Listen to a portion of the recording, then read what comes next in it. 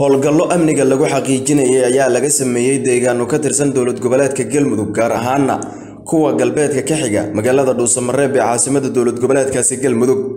Ciidamada xoogga dalka oo isugu jiray kumaandooska gorgor iyo kuwa qeybta koob iyo labaatanaad ee ciidanka xoogga dalka ayaa howlgalku waxa ay ka sameeyeen tuulo lagu magacaabo xaayo halkaasi oo ay warbaahinta kula hadleen saraakiisha ciidanka dowladda soomaaliya oo sheegay in uu ahaa howlgal lagu xaqiijinayay amniga deegaanada dowlad goboleedkaasi galmudug maadaama ay fooda nagu soo hayso doorashooyinkii dalka. Taasna waxaan u soo booqday jiidda hore dagaalka guddoomiyaha caasimadda dhuusamareeb xildhibaanada maamulka galmudug saraakiisha noocyaheeda kala duwan alxamdulilah rab ilaahay baa mahaddaas leh annaguna waan wadi doonnaa. Waxaan ku dhiiragelinaa ciidanka xoogga dalka soomaaliyeed meel kastoo ay joogaan inay hal nin baa ka shahiiday ciidanka iyo hal qof oo shacab ahay markii horeba ahaayiin iyagoo ay dileen. Intaasaa annaga na soo gaartay.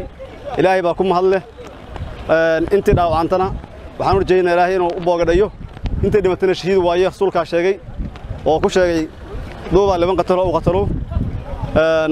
Ilaahay baa ku mahad idinkana intii naga dhaawacantana ilaahay ha caafiyo intii naga shahiidana jannada allah gaarsiiyo aad iyo aad u mahadsantihiin. Garabkiinaan nahay. Annagu idinka hari mayno meel alla meesha joogtaan micigiinaan nahay. Haddaan shacabka caasimadda degan halkan waxa taagtaagan waa u xildhibaanadii waaye.